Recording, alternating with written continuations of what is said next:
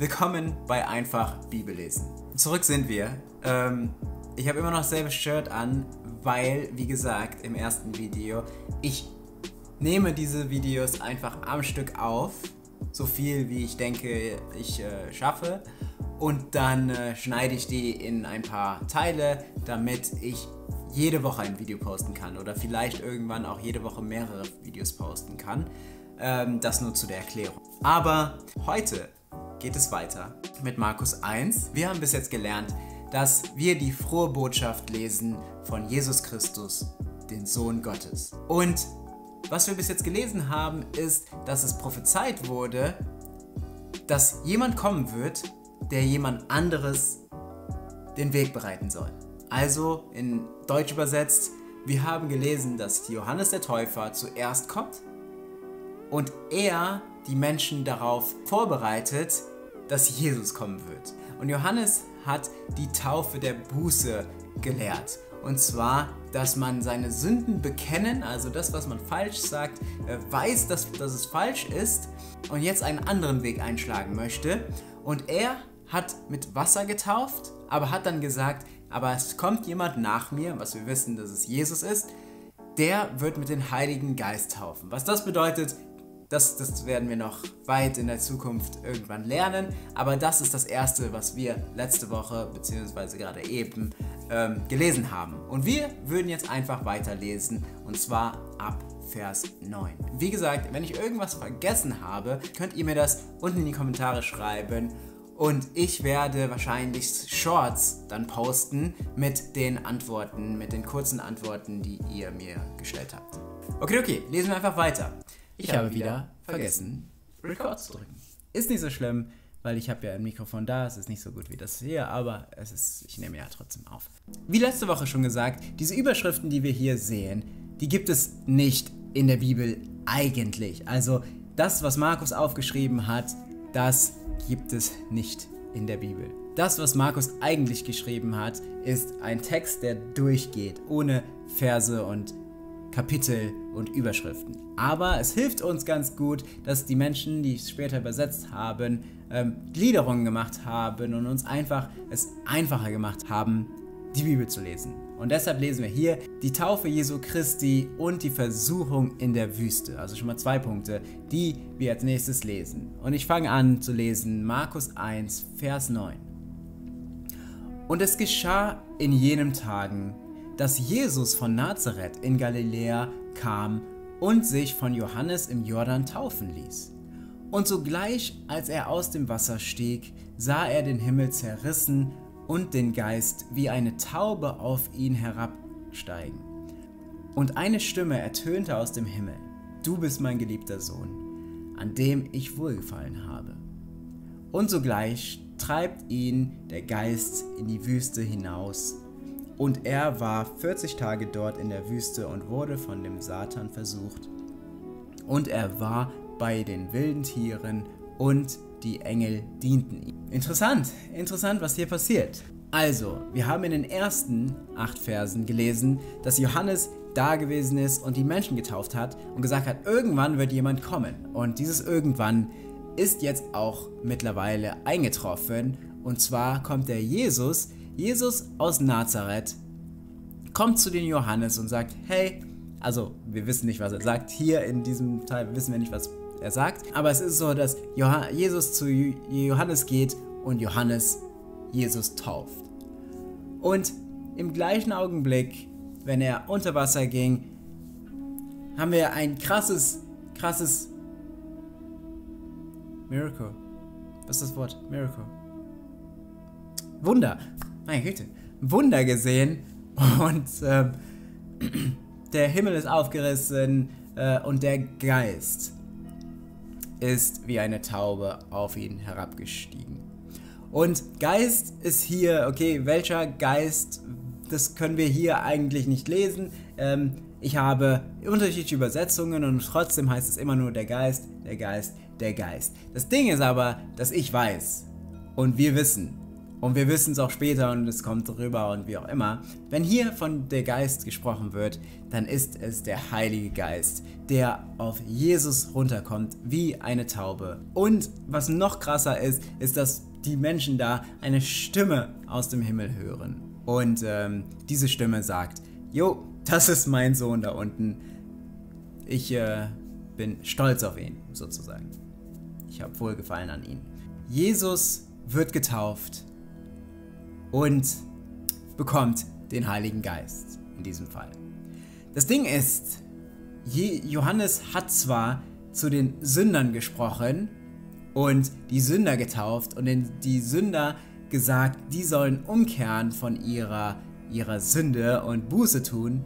Jesus wissen wir, Jesus hat nie gesündigt. Er ist ja der perfekte Mensch gewesen, der nie gesündigt hat.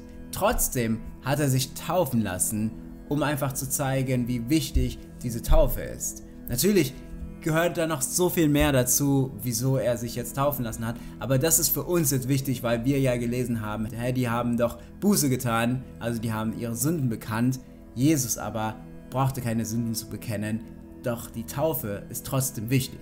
Und in 13 haben wir die super Kurzform von der Wüstenszene, von der Versuchung von Jesus. Und hier heißt es nur, dass er 40 Tage in der Wüste war und vom Satan versucht wurde. In einem anderen Evangelium werden wir noch viel detaillierter auf das Thema reingehen, wie er versucht wurde und vielleicht noch viel, viel tiefer in, was die unterschiedlichen Versuchungen bedeuten, auch für uns heute. So, dann äh, lesen wir weiter, weil wir haben noch äh, genug Zeit. Hier ist wieder eine Überschrift, aber wie gesagt, wir wissen, Überschriften wurden später hinzugefügt. Aber wir lesen der Beginn des Wirken Jesu in Galiläa.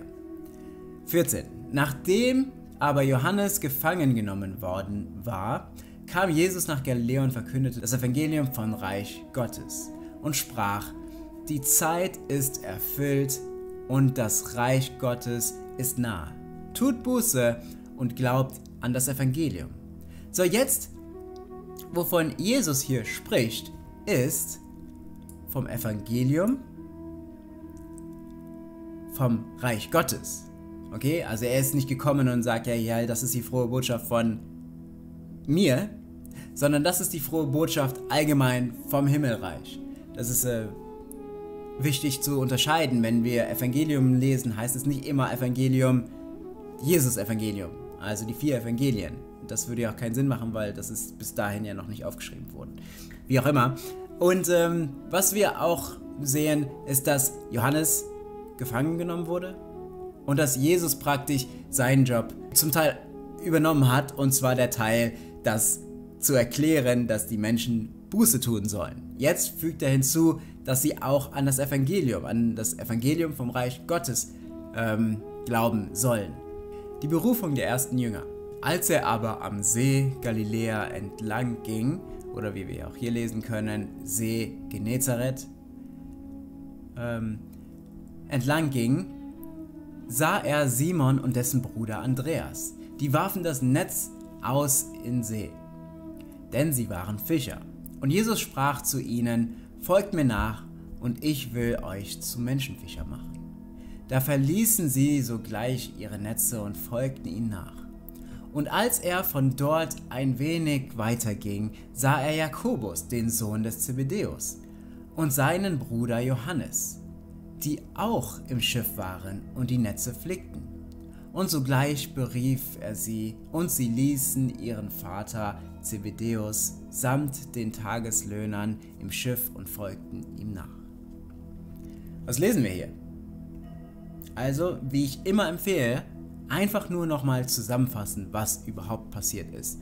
Und daraus wird man so viel mehr verstehen, was hier auch gelehrt wird oder ob überhaupt was gelehrt wird. Weil manchmal ist es einfach eine Erzählung.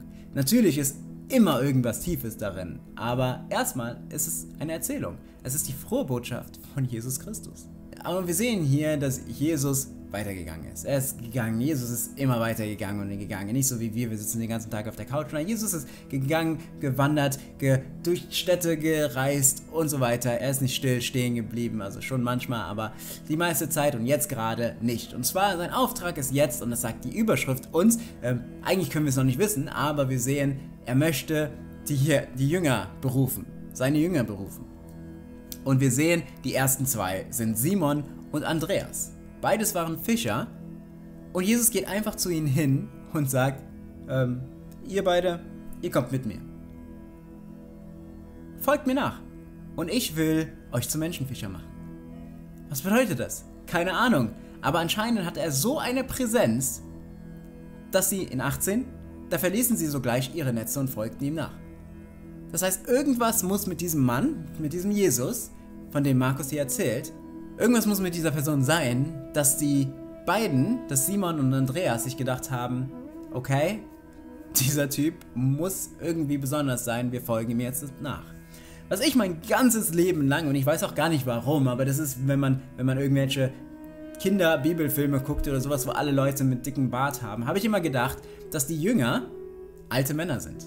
Ich weiß nicht, woher ich das habe, aber das habe ich immer gedacht. So, also falls ihr das zufällig denkt, nein, sie waren junge, junge Männer. Dann haben wir weiter gelesen, dass nicht nur Simon und Andreas dazu gekommen sind, die Brüder waren, sondern auch die Brüder Jakobus und Johannes.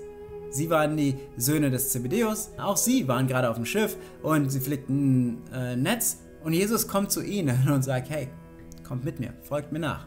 Und was machen sie? Sogleich lassen sie alles stehen und liegen, geben den Vater nochmal Bescheid, hey, wir gehen jetzt mit diesem seltsamen Mann, den wir noch nie gesehen haben, seltsam haben sie wahrscheinlich nicht gesagt, aber wir gehen jetzt mit diesem Mann, der den wir noch nie gesehen haben, gehen wir mit. Ja, darum sage ich immer, ich finde es immer so cool. Ähm, er hat wahrscheinlich eine richtig krasse Präsenz gehabt. Jesus, irgendwas muss mit Jesus gewesen sein, dass man einfach alles stehen und liegen lässt. Und dann habe ich nochmal eine Sache zum Abschluss: Menschenfischer. Und für mich als Kind war das immer was richtig Cooles, weil ich es verstanden habe. Ich habe es damals schon als Kind verstanden, was sie machen sollen. Und zwar gehen sie auf die Einkaufsstraße und angeln Menschen. Natürlich. Was soll es sonst sein? Mein Spaß, das ist so dumm. Aber äh, nein, Spaß, das ist natürlich nicht. Und klar, ich greife schon ein bisschen voraus. Aber das große Ding ist ja, dass Jesus Leute sucht, die er lehrt und dann später weitere Menschen zum Glauben führen. Und Menschenfischer ist einfach so ein cooles Wort hier, ist, dass sie rausgehen in die Welt und Leute für Jesus, letztendlich Leute für den Himmelreich berufen und fischen und rausholen. Und das ist ja eine Aufgabe, die wir auch haben als Christen. Äh, wenn du jetzt noch kein Christ bist, wie auch immer, dann ist es trotzdem deine Aufgabe, denn du sollst zu Jesus kommen. Aber erstmal nicht. Äh, erstmal sollst du herausfinden, was die frohe Botschaft ist. Das ist deine erste wichtige Aufgabe. Was ist die frohe Botschaft? Und das lesen wir jetzt. Ähm, ihr mit mir, ich mit euch. Und ähm, ja, das war's für diese Woche wieder im, äh, für diese, diese Zeile, für diesen Abschnitt. Nächstes Mal machen wir weiter. Und ähm, ja, vergesst nicht alle eure Fragen, die ich rausgelassen habe, eure Anmerkungen, auch eure kritischen Anmerkungen, weil ich nicht der beste Bibelstudierte Mensch bin und Sachen rausgelassen habe. Könnt ihr mir die unten hinschreiben und wenn ich irgendwas Wichtiges rausgelassen habe oder sowas, dann werde ich kleine Shorts ähm, posten, wo ich diese Fragen, Anmerkungen oder sowas auch nochmal äh, anspreche. Genau, das hilft nämlich sehr gut, um nichts zu verpassen. Und deshalb, um nichts zu verpassen, vergesst nicht zu abonnieren dann, und die Glocke, Glocke, zu aktivieren. Dann könnt ihr nächste Woche, werdet ihr direkt wieder alarmiert, wenn ähm, das nächste Video kommt. Aber bis dahin, Corey hier, ihr da, alles klar.